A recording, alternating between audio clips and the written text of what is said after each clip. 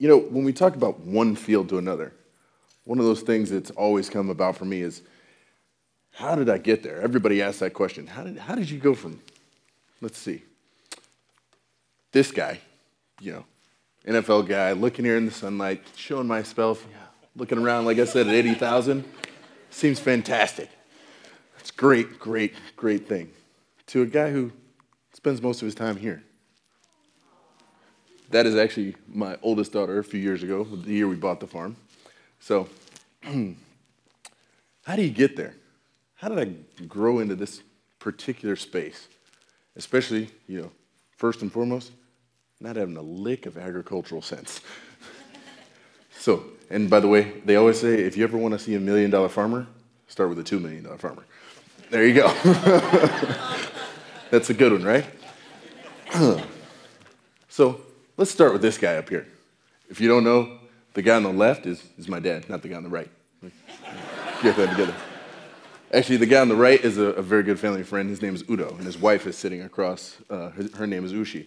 These are friends of ours from Germany, and my mom is actually sitting across from my dad here in this picture. Uh, this is the guy that kind of began it all for me. My dad was a military guy. How many people military family or been military, this is growing up bratty, right? You, you go out every single day and you know that your dad's in the military. You never really know what he does. My dad was a mechanic. I found that out when I was 12. That's all that really mattered, right? But one thing my dad did do is he never put in for stateside orders. He always wanted to go overseas. He always saw this as an opportunity for him to see the world and his family to see the world, unlike he had, he had not been able to do as a child. So he took full advantage of that. So, oh, I skipped ahead a second. Jumped on me there. We'll go back to this. But uh, one of the things that my dad did is because of this, I got to see so many different cultures and experience so many great things. You know, one of my fondest memories as a kid growing up, and even though we were a military family, my parents always chose to live off base and in the towns that were nearby that gave me great cultural advantage. And although it did uh, put me in a little bit of a bind when I was first growing up, right, trying to make sure I learned the language. But I always had to, a great experience in that. And in doing so, one of my fondest memories is going down the street, you know, every morning going to my bus stop and, and getting ready to go to class. And I'd stop and I'd grab my, my Deutschmark and go to the, go to the baker and say, hey, I want my sweetbread, and I want some Nutella on that, and I'm gonna go to school. That's what's gonna get me going. You know, most kids start with cereal. I start with German sweetbread Nutella. That was great.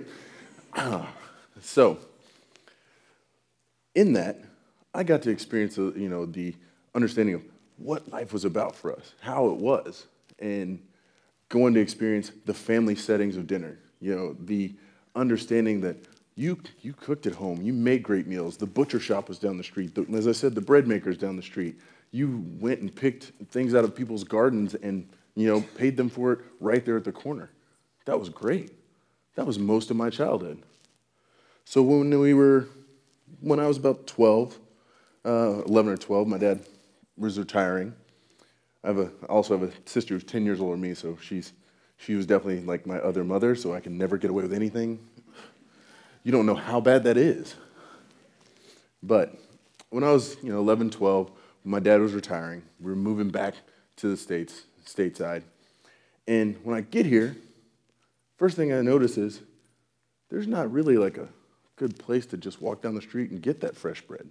There wasn't a place for me to go to the butcher shop, you know, essentially, and pick out, you know, a great steak or some ground beef for dinner or grab a chicken, whatever it was. So that's when I asked myself, why do people think this way? Why is this the right thing to do? Because all of a sudden I, got, I came to an environment where we didn't spend as much time at home, you know, eating our meals. We were kind of forced to either go trek out to find something and go figure out how we are going to put that meal together. Didn't know exactly how to do that. So as I grew up, you know, I became this guy, and I, I was still kind of on that whole ideal. Because, again, going back, the greatest thing that my dad's whole, my youth was taught to me, I should say, is that it taught me to cover my plate. You know, a lot of times we talk about how to teach kids what to eat and what to eat well, well, that was one of the things that just naturally happened to me. I was that kid who was like, please give me Brussels sprouts. Yeah. I don't know why, still can't figure it out. But why didn't everybody else think this way? Couldn't figure that part out. So, as I grew up, became this NFL athlete that everybody's all yay, roll, yay about. I'm, I'm excited about that part. I love my job, love that game. But the part that kind of concerned me was even there, when I got to that level, you see guys who didn't know how to handle that. They didn't know how to understand how to handle their bodies in that, that sense. I came into the league in an era where you have a mass use of supplements, guys trying to improve themselves, trying to figure things out. You know, performance enhancing drugs became a bigger issue, and it's still something that's it's a struggle. And then there was me. I sat there and go, I can't risk this. I can't risk putting my, my potential career on the line like that. I can't do it. I couldn't see myself doing it. And then the other thing is, I still liked everything on the plate. I was doing okay. I really rarely got injured, rarely missed a game. You know, from 12 years as an NFL athlete, it's hard to miss not to miss a few games. I missed four. That's really hard to do. And on average, you know, when you're playing 1,600 snaps a season, that's a lot of running, moving, and shaking, if you know what I mean. Especially at the linebacker position. I got to hit big guys, small guys every single play. So when I started asking that question, I came to this blank slate. How do I figure this out? What works for me? What is a, a great thing that I can do? Hmm. Well, I planted the seed, right? That's what got me started. Gave me the basis for what I needed to do. I need to figure out how to, how to do something good for myself and, and show people that there's a way to do things right. There's a way to, to create what you want to create. So, here's where we started. I bought my first piece of property, and this is really comical, for two horses. So, I went out and bought the first piece of property for two horses, and I have this great tax guy who's like, you know what? You got to get cows. You just got to get some cows. We can figure it out. It's great for taxes. You're going to be okay. I'm thinking, yes, he's going to save me money. No, I had to spend it first. But, uh, you know, the great thing is, I bought this first piece of property. Now, you see all these cows out here? That's kind of hilarious now because I went to buy two cows and I came home with 16. I didn't know what to say about that. I was really just kind of wondering, hmm, well, I guess I better start learning how to raise cows. And, and this kind of reverted me back to, oh, yeah, well, I did say I wanted to know where, where things came from and be, feel good about that butcher shop I was taking things through. So my first thought was, I'm going to make my own beef. I'm going to be the man. I'm going to have my own beef. It's good. I can feel all right about it. You know what I mean? so as I, as I got into that, as I really started thinking about it, you know, I started understanding that I had my teammates who were like, man, you got this farm. Like, what's going on with that? I was like, yeah, I'm making, I'm growing cows. I'm doing great things and feeling fantastic about it. These guys were, were excited and they kind of looked at me kind of funny, you know, as if I had Stephen Urkel glasses on. hmm, what are you doing? That's the, that was the question I had to kind of get them over the hump on. But over time, one of the best things I did was I created this. So, Shiregate Farm, as you see, and actually, remember my dad? He's still out there on the farm, hanging out. That's my dad's retirement gift, right? Like, I get to say, thanks, Dad, for doing these great things for me. Now there's something I know you enjoy too. So I created Shiregate, and I started with 185 acres. I've now got over 700 acres and a network of farmers that I work alongside.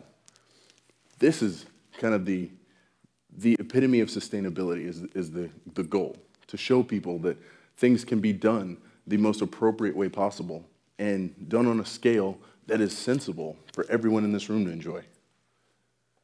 I've got what they consider a small farm. You know, most people think 700 acres is not small, and it's not because you're looking at a map section if you look at it.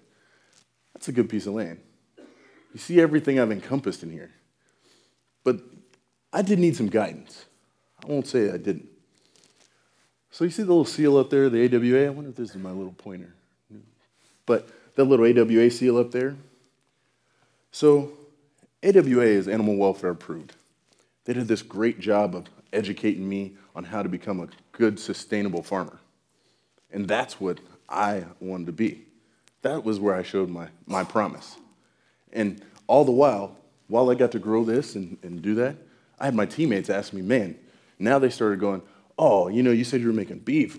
Can I get some of that? Oh, man, can I get some steaks? Oh, man, do you know where I can get, uh, you know, my wife doesn't eat red meat, but can you help me find some chicken? Can you help me find this? Uh, you know, it, it becomes this whole other gift that I was ex- excited about, passionate about. I got to understand that, guys, I can lead the way in a wholly different manner. I was ecstatic about that.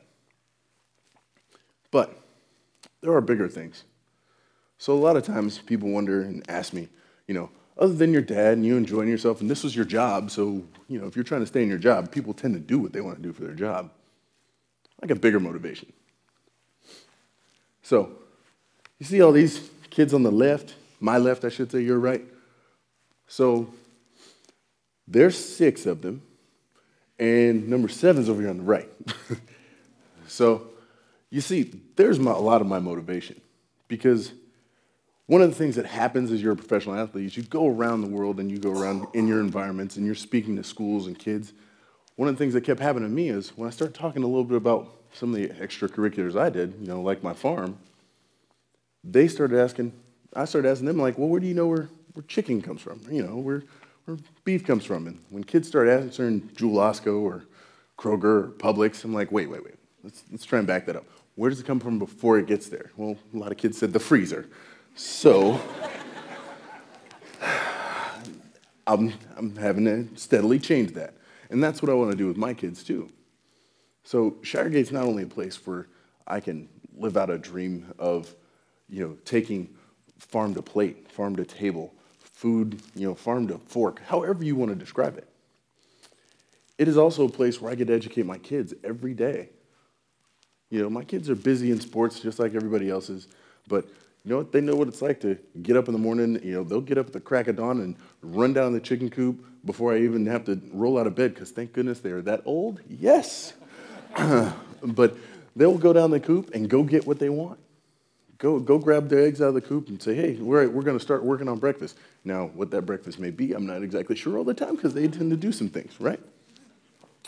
But, you know, that is one of my biggest motivators that is one of the things that keeps me going forward, you know, on this conquest. Not just the fact that I can be a voice for sustainable agriculture, because in, through AWA, I work with 4,500 other farmers.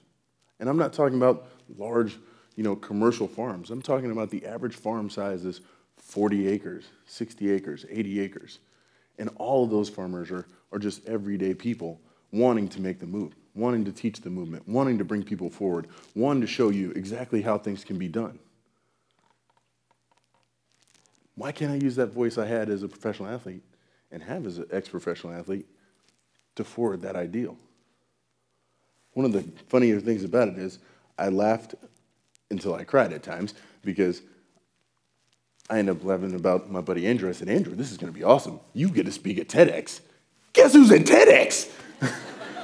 That's how I felt about it.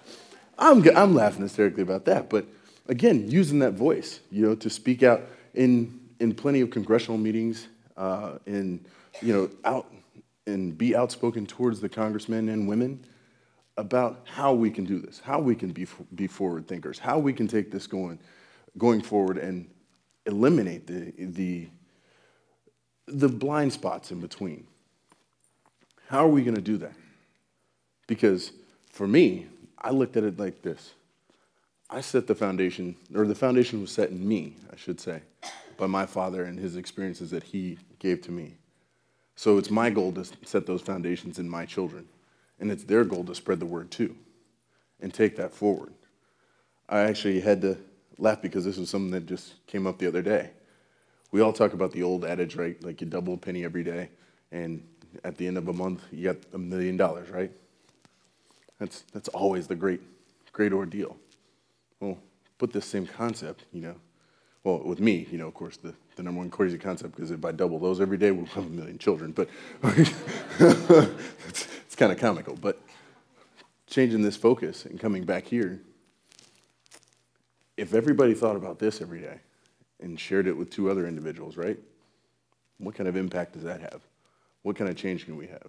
I've changed teammates, I've changed friends, I've changed individuals who I've had slap arguments about, about how to do things appropriately and how we can benefit by doing so.